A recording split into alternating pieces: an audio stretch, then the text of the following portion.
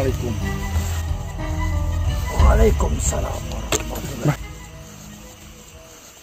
Asal kalian tahu, saudaraku semua, jika kau pernah melihat saya mengenakan baju selayaknya raja, memiliki mahkota yang bersinar, saya berwujud seperti itu, hanya menyesuaikan.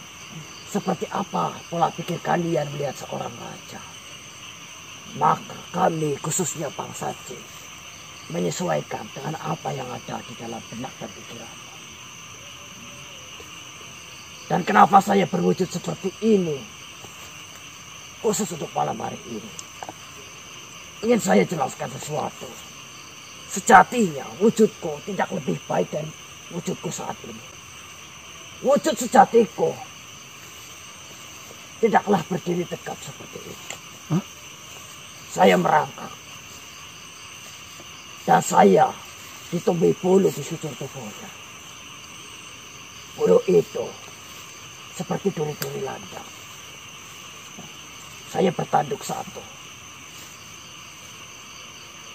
Saya pun memiliki taring yang tidak kalah panjang dari taring babi hutan.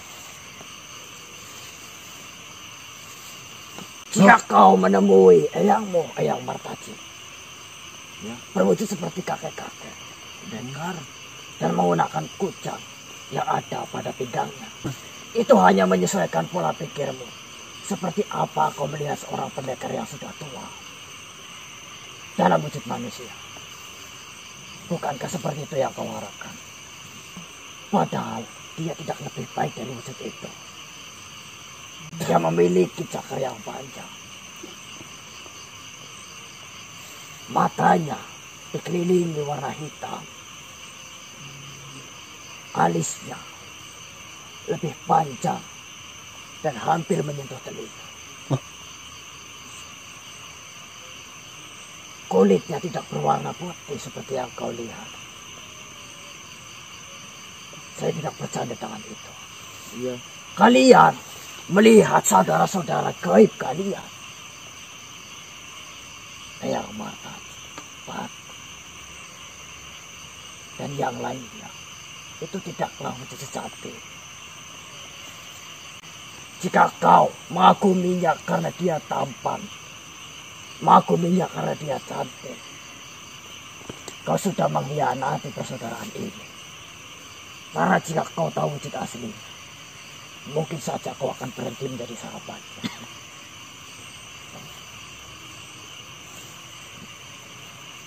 Asal kau tahu, bangsa kami, bangsa jin, itu hanya akan sempurna wujudnya jika kami menyerupai wujud anjing. Kucing hitam. Dan ular. Kami akan sempurna meniru wujud hewan itu. Yaitu dengan tiga hewan itu saja. Anjing, kucing hitam, dan ular. Jikapun kami masuk ke alammu menggunakan wujud itu tidak akan sempurna seperti manusia pasti ada cacat di antaranya. Seperti makhluk yang sering kau lihat.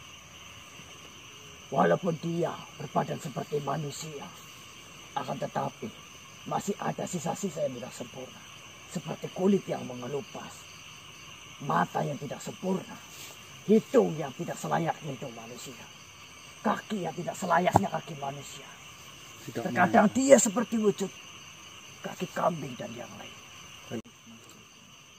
Tidak ada jin yang bisa menyerupai wujud manusia secara sempurna. Pasti akan ada kekurangan jika dibandingkan dengan wujud manusia yang asli.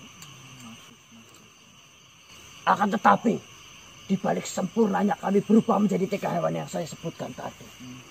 Hanya keledailah satu-satunya hewan yang bisa memastikan bahwa itu jin bukan benar-benar hewan.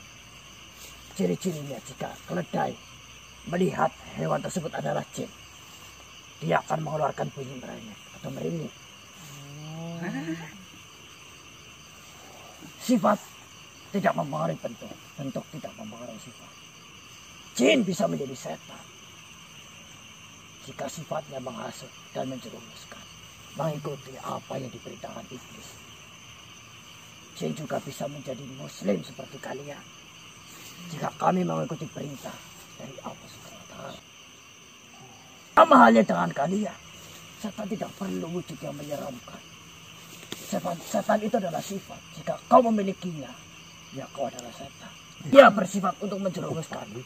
Maka manusia pun bisa disebut setan. Itu menjadi persepsi masing-masing. Saya sendiri makhluk gaib akan tetapi saya tidak mengetahui semua hal yang gaib.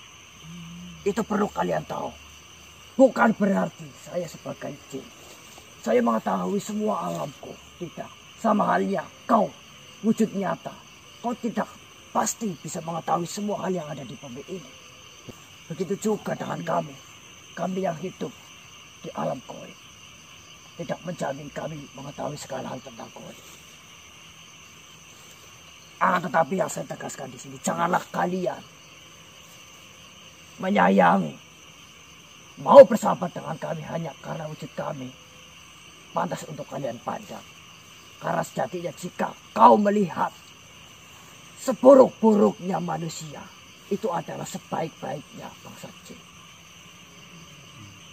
Itu hanya sebagai penguat kalian ingin bersaudara dengan kami. Bahkan istriku Lancar Sari. Dia tidak secantik seperti yang kalian lihat. Jika kalian memuji-memuji istriku, kalian akan menyesal. Karena kau tidak tahu kebenaran wujud aslinya. Jumlah anak kami bisa sangat banyak. Jika kami terluka, kami bisa cepat menyembuhkan diri berbeda dengan kalian.